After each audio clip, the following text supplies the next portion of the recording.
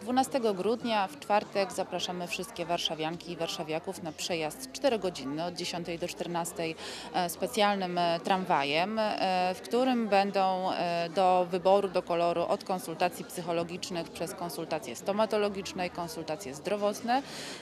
Przede wszystkim dla kobiet w ciąży, ale i nie tylko. Będziemy w tym tramwaju mówić o tym, że warto ustępować miejsca, to naprawdę niewiele kosztuje i kobiety w ciąży oczekują też często, żeby ustąpić im miejsca. No niestety z różnych przyczyn nie zawsze e, są w stanie wyegzekwować prawo, które im się należy. Pomóżmy im w związku z tym i o tym będziemy mówić e, 12 grudnia w specjalnym tramwaju. Jeśli chodzi o ułatwienia e, dla kobiet w ciąży, to naprawdę nie są to jakieś wielkie działania. To tak naprawdę wymaga naszej dobrej woli i empatii. E, Oprócz tego, że można e, kobietę w ciąży e, przepuścić e, w kasie, w sklepie, czy w okienku w urzędzie, czy miejscu użyteczności publicznej, e, to rzeczywiście ustąpienie miejsca w środku komunikacji publicznej jest e, również dbaniem o bezpieczeństwo i zdrowie tej kobiety.